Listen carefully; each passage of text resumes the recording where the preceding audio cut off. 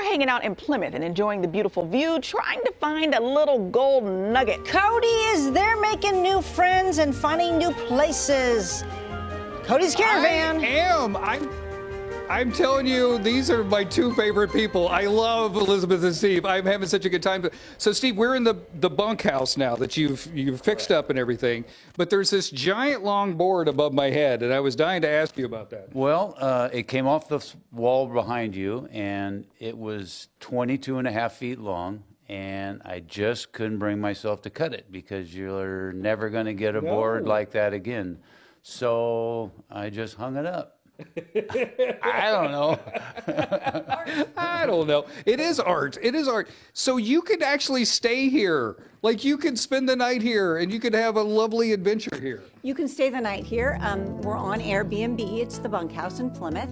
And we do family adventures. We do scavenger hunts for kids and adults. Adults like our scavenger hunts, and you can stay more than once. We tweak the scavenger hunts. You'll learn a little bit about history because it's a historic scavenger hunt all around town.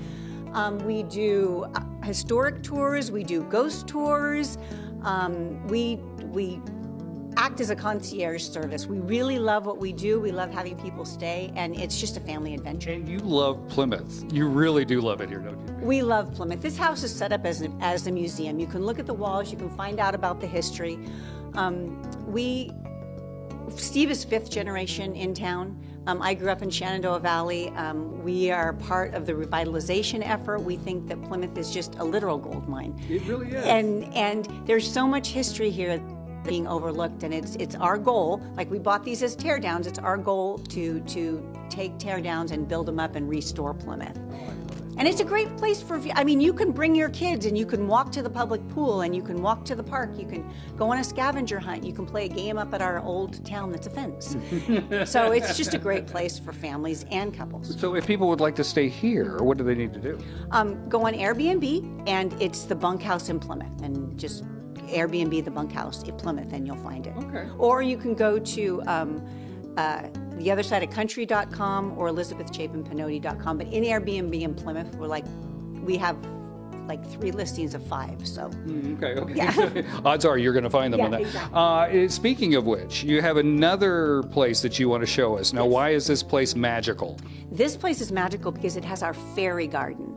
It has um, it has a, a, full fairy garden with a castle. It's based on a book, and there are violets. And one day a year, if you happen to be there on that day, you could fall through a violet and end up in the magical town of Flabbervia but it's there's a full fairy garden, and we do tea parties for everyone. And um, kids that go through, they like the hot chocolate better. But it's just a magical place for kids to play. I feel like we should go check that out. Let's go. Let's do it. We're gonna go check that out. Coming up in just a bit. Back to you guys.